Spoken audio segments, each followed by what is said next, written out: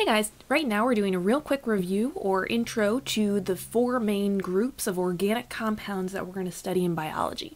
So remember, when you hear the word organic in biology, I don't want you thinking of organic foods or foods raised without pesticides, um, like at Whole Foods or something. That is not what we're talking about when we say organic in biology.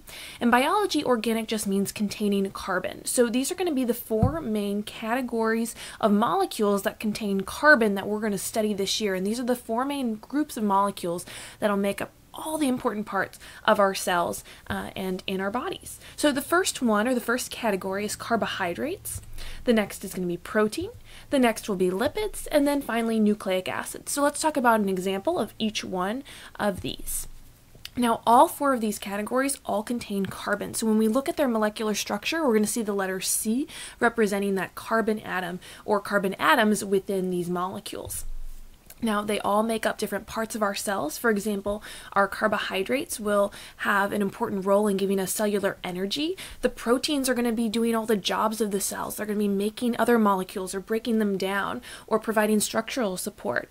Our lipids are going to be doing things like providing the structure of the membrane of our cells. And nucleic acid acids are going to be providing the genetic information in all of our cells. So all of these have a really important role in our bodies at the cellular level and throughout all of the uh, parts of our organism.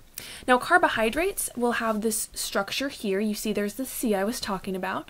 And some common carbohydrates that you might think of when you think of carbs as far as nutrition goes would be things like starches and rice and sugars. Um, but carbohydrates are going to be really important when we get down to making the energy for the cell. So our simple carbohydrates like glucose are going to be used in cellular respiration, which is the process by which the cells get energy. Now, proteins we can think of the source of those might be something like an egg or meat or fish or peanut butter. All of these are ways our body can get protein, but we actually use protein throughout our cells and we use DNA as the instructions for how to make these proteins. And we'll be studying that later on in the year as well.